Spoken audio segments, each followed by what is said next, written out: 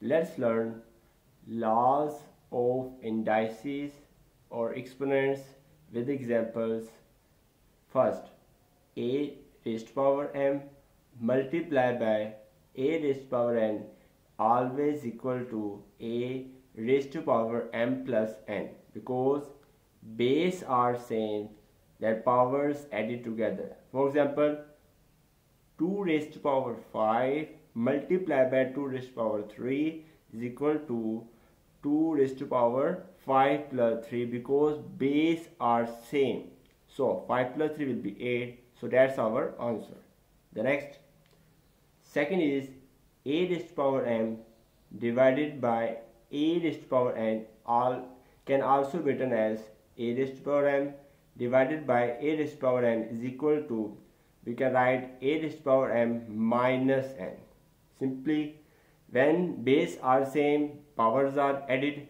When it will be divided it equals to minus because the values of numerator and denominator are same. So we can write it one time. So a raised to the power m will be as it is and this downward exponent value will move into the uh, numerator. Will get minus n. So let's show that example is here 2 raised power 9 divided by 2 raised power 7 is equal to 2 raised power 9 minus 7 is equal to 2 raised power 2.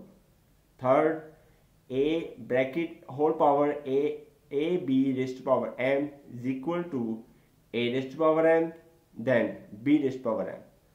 For example, 2x uh, whole power is 5. We can write 2 raised to power 5 multiplied by x raised to power 5. Next 4. a over b whole power m can also be written as a raised to power m divided by b raised to power m. So here example is 2 over 5 whole power is equal to 2 raised to power m divided by 5 raised to power m. Number 5 a raised to power minus m always equal to 1 over a raised to power m. So Example is 9 raised to power minus 2 is equal to 1 over 9 raised to power 2. 9 9 is 81. So that's our answer. Next, a bracket a raised to power m whole power n always equal to a raised to power mn.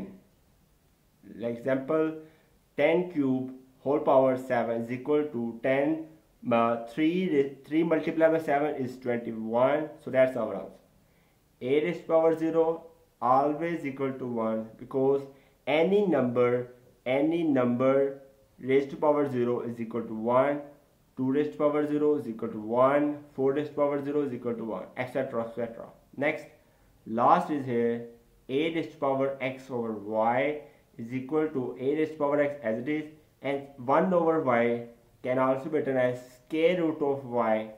So let's example 49 raised to power 1 over 2 can also be written as 49 as it is 1 over 2 in square root. So here 7 7s are 49 2 2 will be cancelled, will get 7 so that's our answer. Thanks for watching this video. Please share this video with your friends and classmates. Don't forget to like and subscribe this video. Goodbye